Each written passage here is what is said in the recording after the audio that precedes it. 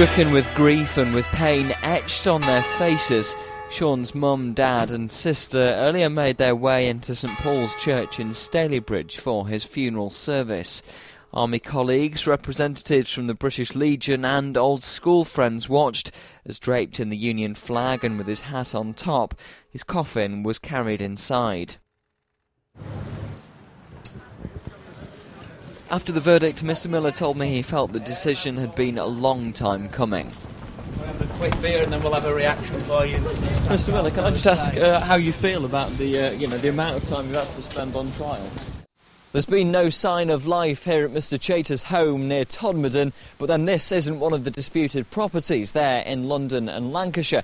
He's been charged under the Theft Act with dishonestly claiming thousands of pounds worth of rent on a property owned by himself and also a property owned by his mother. Dean Nankerval is one of them. He's a rescue technician from Glossop. We spoke to him from the Dominican Republic before he flew into the capital, Port-au-Prince. Okay, Dean, well, tell us first of all just how easy it's been to actually get into the country in the first place.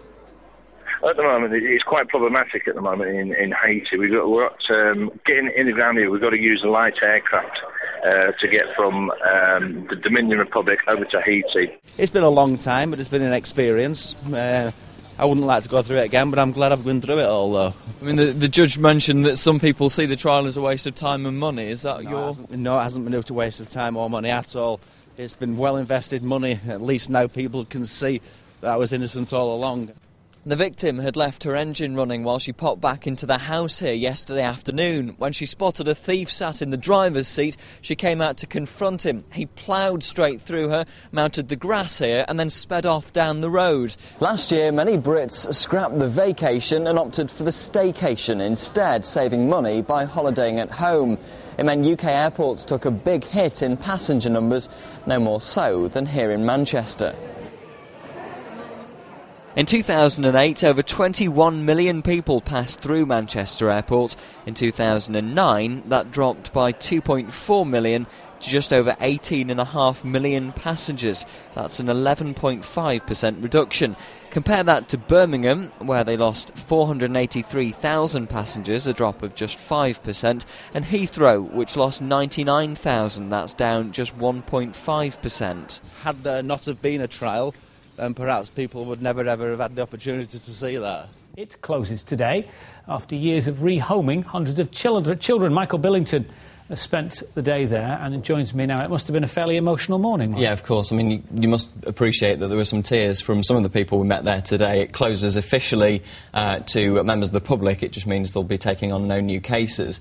Um, there's a few months left, though, for the people that work there currently. They've got a lot of work to do to make sure that they, they transfer cases over to uh, local authority adoption organisations. Manchester Adoption Society is packing up and shutting down to avoid going bankrupt. It must be incredibly disappointing. It must be really upsetting that, that it's come to this.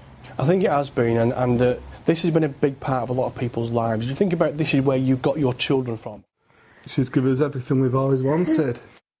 Well, we finished on little Leonie and her new family there, but Manchester Adoption Society has been finding parents for children since 1965. We've got problems in the roadworks on the M62 heading eastbound between junction 10 and junction 12 of the Eccles interchange. Now, there's been an accident there that's slowing you down as you're heading towards Manchester. Well, I suppose all the dangers seem fairly obvious, really. We've got much narrower lanes here, and it just means that uh, all the cars and the lorries are packed much more tightly together. Sometimes you have to cross the central reservation there's a contraflow and essentially drive head on into traffic that's coming in the opposite direction. But the Highways Agency are not just worried about drivers, they're also concerned about their own staff.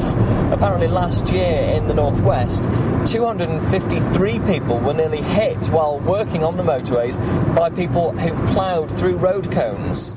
How much damage do you think this has caused you in terms of yourself and your business? It's wrecked my rep- It's wrecked my reputation. I mean, I've been portrayed as a, a ruthless, horrible rogue trader and a con man for many, many, many years.